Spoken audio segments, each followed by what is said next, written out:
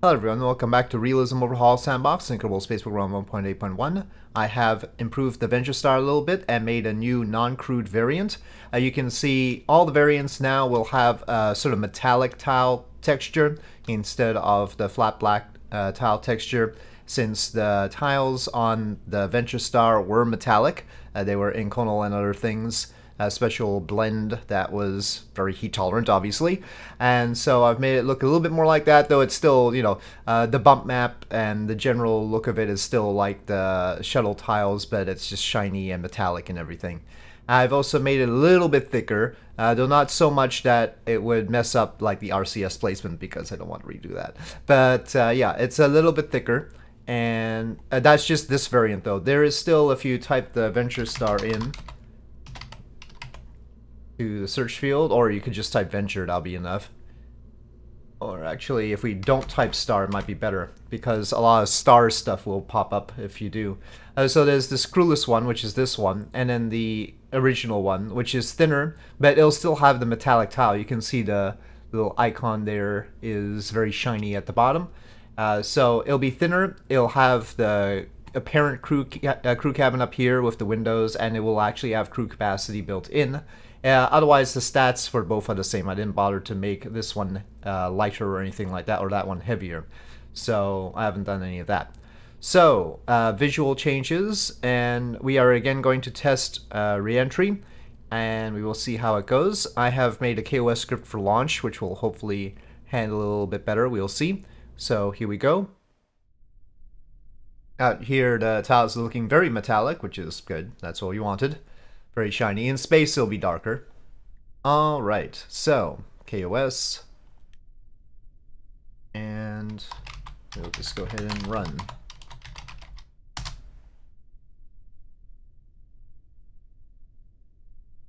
I can make it bulkier, but for now, we'll let it be. I haven't locked the control surfaces. KOS will use them very mildly.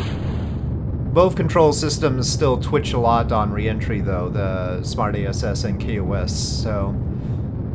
I don't know. It's because of the control surfaces, we sort of need them during reentry anyway. Another problem is the RCS placement. Uh, it wasn't entirely clear where they wanted to put the RCS, so I just imagined where be most likely to be, but that does require, like, the the, the RCS over here that pushes down is placed here. It could be placed here instead and not be as on as much of an angle, but uh, and maybe I'll consider positioning it different. But yeah, the shuttle of course has those little RCS extensions to the OMS pods that extend them so that they avoid the wing and everything. Uh, but this, I don't know where that stuff is on this, so. After all, it wasn't quite completed.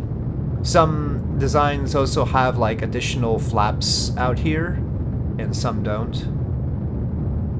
I think maybe the X-33 did have those.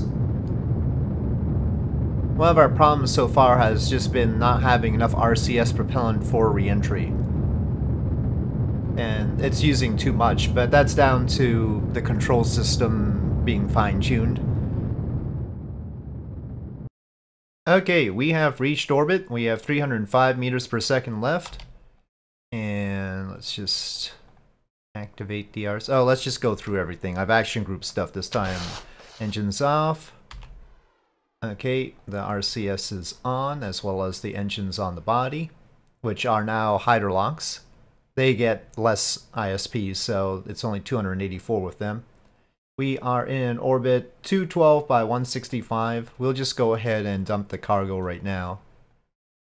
In theory, except for the final bit of landing, it's possible to just automate the entire thing with KOS. In other words, the ejection of the cargo all the way up to reentry. Just, I don't know how to program a landing. Now we have 331 or 332, something like that. Okay. So we'll get to a higher standby orbit now. Okay, a little bit lopsided, but one and a half hours anyway. So I'll wait a day. I'll just use Smart ASS to control it this time, since KOS still seems very wiggly. I think I might have changed the angle. Yeah, I changed the angle of the wings as well. So I've made them a little bit more angled than last time. Who knows if that's good or not, but sometimes that helps with stability. By nature, they attach at a zero degree angle, and I just tweaked them up to, I guess it's a 30 degree angle. I also lightened up the texture of the white portion, the insulated top. Okay, we are at 100 kilometers and using some nose down, and that means that the center mass is still a little bit too far back. As propellant depletes, it's just going to go further back though. and that is because the body is basically a flying fuel tank, and we've got engines in the back that pulls the center of mass back. Well, Smart ASS as a solution is still wiggly though. I don't know if uh, reducing the max stopping time will help. Okay, we are currently over Mexico and at 74 kilometers in altitude. We might fall short of, well, the blue line sort of ends up right about there. So maybe we're falling short, we'll see. Depends on whether we get some more lift out of this. Okay, we are approaching the Gulf of Mexico, and we have some flame effects, and once again, it's interesting how those get applied to the aerospike in particular. They're still using about half of our pitch. Okay, halfway across the Gulf of Mexico, we are below 60 kilometers, getting maxed out on pitch here. And I tried to nose it down more and that just ruined it. So trying to go to 37 degrees pitch and that goes out of whack. Okay, so I don't know if the center mass, if I change the center mass in the craft file, in the configuration file, not not the craft file, in the configuration file. I don't know whether I can just reload the save or not, and that'll move it properly. It's possible. At least we add the fuel. I don't know if it can, I don't think it can catch itself here. So anyway, I'll try that, and we'll see whether that moves it. I'll, let, let me load the, well, we won't get a center mass and center of lift reading, but if we take a look at the quick save, we'll get a center of mass reading, and then we'll be able to compare it after I move it in the configuration file. The location of it is somewhat dependent on what the relative mass of the hydrogen dry hydrogen tank is versus the dry oxygen tanks up front. So right now it's there, which is, I just need a reference. If we take a look at the black tile area or the metallic tile area of the wing, it's right there. Gotta try and move it to the leading edge where that meets the, the body. Alright, so I'm gonna restart and we'll see if it works. Okay, I think it's a little bit further ahead, but not quite as much as I wanted but we'll try it out. Yeah, I think uh, I tried to move the body's center of mass by a meter, but I forgot. Of course, the engines are weighing us eh, in the back there, so trying to move it forward by a meter is less than a meter because of the additional masses that are all around. So, yes, we are going to try again. One of the quirks of this, of course, is that uh, even though we have all moving wings in this case, I don't think it really did. Uh, I think they only had control surfaces in the back, but I've made them all moving wings partly because uh, they are really close to the center of mass, and so they don't have that much leverage to control pitch. So it's better that they be all moving. And perhaps we need those additional little thingamajigs in the tail or, you know, canards. canards canards could help because the canards would be very very far forward from the center of mass and have a lot of leverage. So anyway, we are going to uh, deorbit soon. Let's go to a standard deorbit point. We weren't doing too badly last time as far as our trajectory was concerned. Alright, let's go into the atmosphere again. Okay, rolling over just in time for atmospheric interface. And there we are. Well, I think there's some improvement in the pitch situation, but clearly it needs to be moved more. Okay, we are once again over central Mexico and 70 kilometers in altitude, and is our situation. Not quite half on the pitch, but clearly I need to move the center of mass more than I have. Oh, we can adjust the center of lift, though that's largely managed by Ferram Aerospace, so it's easier to move the center of mass than mess with the center of lift. And here we go with flame effects. Still a long way to go though. Okay, well, I mean, looking good so far. As far as ending up where we want to go, 60 kilometers altitude. Still using just 0.4 of our pitch, I'm thinking of it in normalized terms.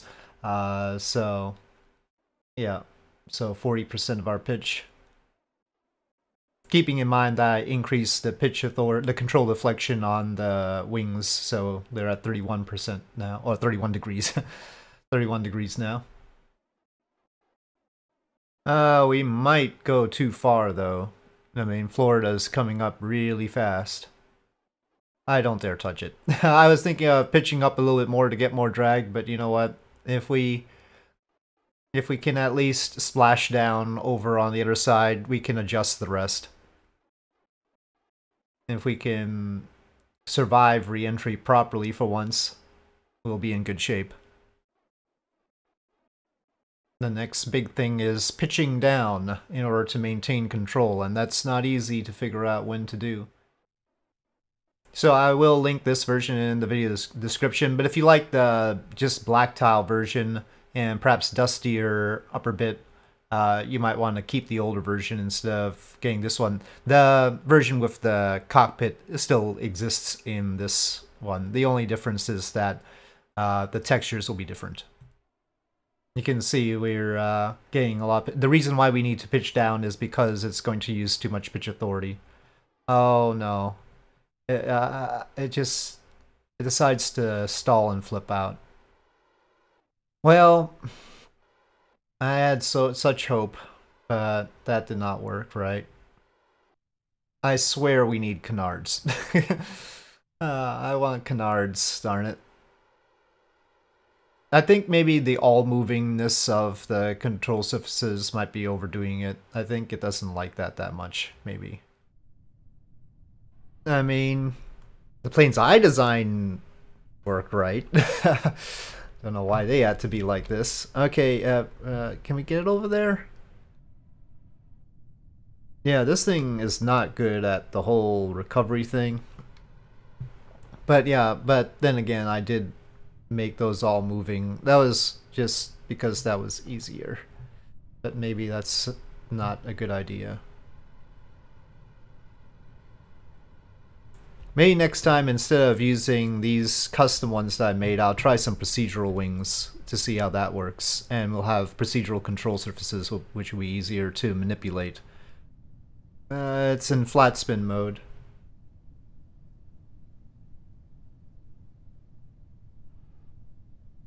Oh. Oh, uh... Yeah, okay, so the all-movingness is too much. But maybe we can reduce that. Maybe they just don't need that much. I really want a canard. I can't pull up right now. I did reduce the all movingness and now they don't have enough pitch authority to pull up. so we've we've escaped the stall, but we can't pull up.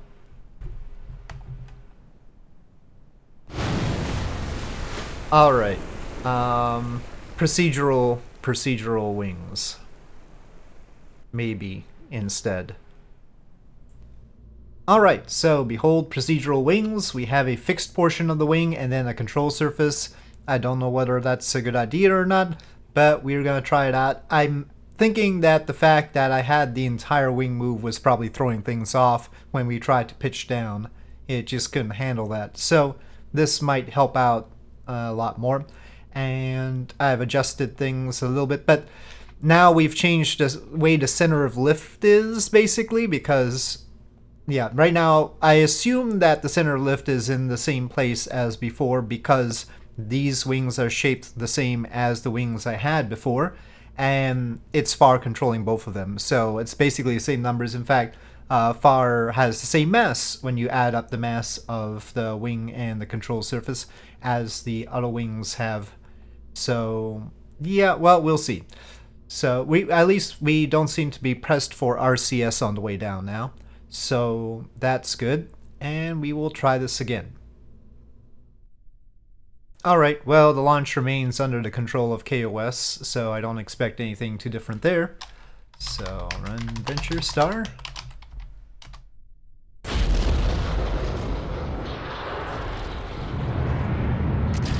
I didn't change the vertical stabilizers, those are still custom and still fully moving.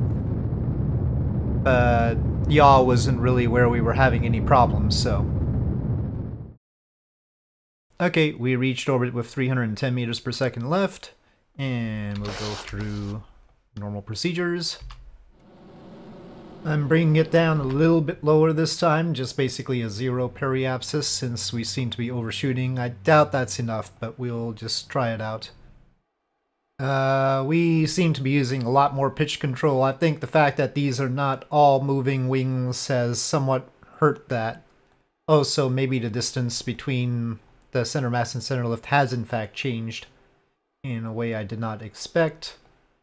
Well, we'll see what happens. We're at 75 kilometers, just getting over Baja California here. And it's still wiggly. The fact that these are procedural wings has not helped the wiggliness.